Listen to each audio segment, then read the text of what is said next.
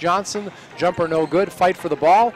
And here come the visitors very quickly. Weber with the ball takes a shot from near the free throw line, hits the two pointer.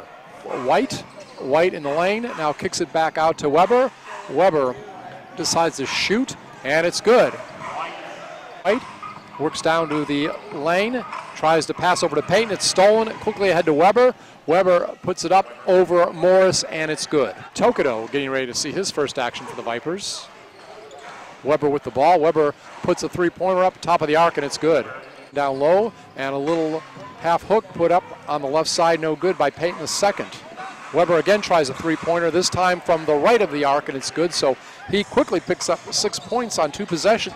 Gets it to Benson. Benson bounce past to Weber. Low post left side. He dribbles in the lane. A little one hander at the buzzer is good. Shot no good, and it is the rebound up top for Weber. Weber to Mosley. Three pointer left of the arc is good. They have a very fast, tough defense. Walker at center. Weber gets the second free throw. Now steals it from Morris and dunks it with his own authority. The ball into the front court. Benson now out of the game, or Morris, I should say, out of the game, and the shot is up and good. Down to five seconds.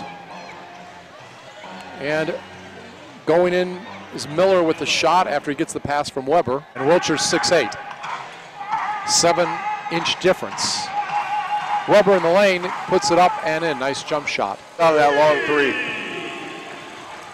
Weber down low and shot put up and in by White. And that's a great entry pass by Weber. Weber looked like he was going to pass it out on the outside. Not going to get that chance. Weber down to six seconds. He'll drive toward the lane. Three seconds. Tries to give it underneath to Miller, and he does the reverse layup.